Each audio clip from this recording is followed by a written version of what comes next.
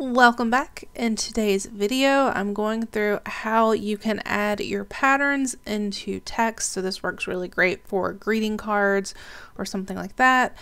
And then I'm also going through how you can take an image, not a repeating pattern, but an image and add that over multiple letters in a text. As you can see, I have already typed out the word hello and it is still in the editable text.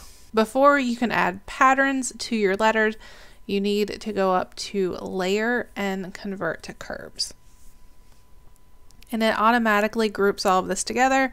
So right click and ungroup. Selecting the very first letter, I'm going to click on the fill tool and then go up to the top and change type to bitmap. I already created a folder for this, but I'm going to go ahead and grab the first pattern. And you may notice right up at the very top next to the preview of the pattern you selected, there is a lock. I think it's automatically not selected, but make sure to select that so it stays as it should and it, is, and it doesn't stretch one side more than the other. So I'm just going to rotate this and I think I'm happy with it like that.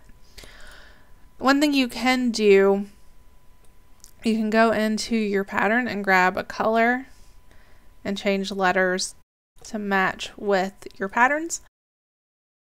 And grabbing the middle letter, I'm just going to add in that second pattern. So it's just a nice little way to add a little something different to your design. It's actually really easy to do. Now, if you happen to have one word and you want the particular pattern or even just an image to go over it, there is a couple different ways of doing it. So for this example, I'm just going to type in USA. So usually around the time of Olympics, you'll usually see different countries with their flag over the top of it. So I'm using that example so once you have your country or any word that you're using typed out, the first way of doing it is you could go to File, Place, select your flag or image, place it in your document, and just like we've done in other videos, create a clipping mask by dragging this below. And as you can see, it has now taken the shape of the text. And you could actually do the same thing if you wanted one pattern to go over the entire word. So just like before, go to bitmap,